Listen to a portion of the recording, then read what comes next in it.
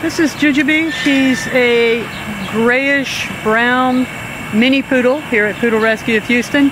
She's about eight years old, which is a little more than middle-aged in poodle years. Um, poodles can live to be 15 plus.